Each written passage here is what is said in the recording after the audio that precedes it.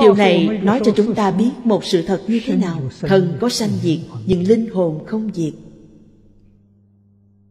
Vậy chúng ta biết linh hồn không chết Thần có sanh tử Linh hồn bất tử. Chúng ta phải làm sao mới có thể tính toán Thay cho cái bất tử đó? Thân sanh tử chưa quan trọng. Còn sau khi chúng ta chết Đi về đâu?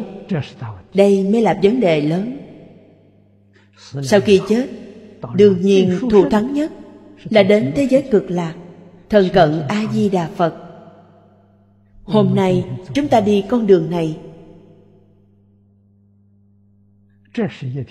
Đây là con đường vô cùng quang minh. Đến thế giới cực lạc để làm gì? Giống như Huệ Năng Đại Sư gặp ngũ tổ vậy Tôi đến làm Phật Chúng ta đến thế giới cực lạc là để nhìn thấy Phật A-di-đà. Còn bạn đến làm gì? Tôi đến làm Phật. Phật A-di-đà nhất định rất hoan hỷ.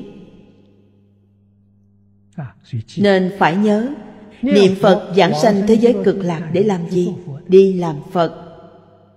Không phải làm Phật, Người ta không nhận bạn. Nhưng ta vừa nói, tôi đến để làm Phật. Đây gọi là Bồ Đề Tâm đã phát đầy đủ rồi.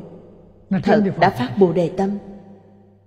Chúng ta đến thế giới cực lạc đi làm Phật